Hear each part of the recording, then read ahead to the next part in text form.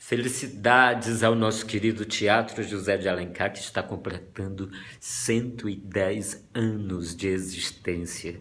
Obrigado a todos os trabalhadores da cultura, a todos os artistas, técnicos de palco que já passaram por esse tablado e a todos que hão de passar.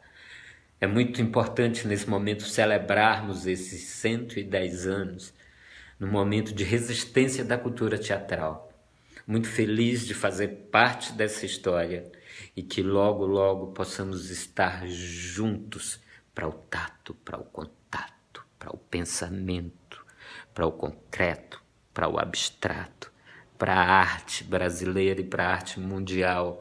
Viva o Teatro José de Alencar!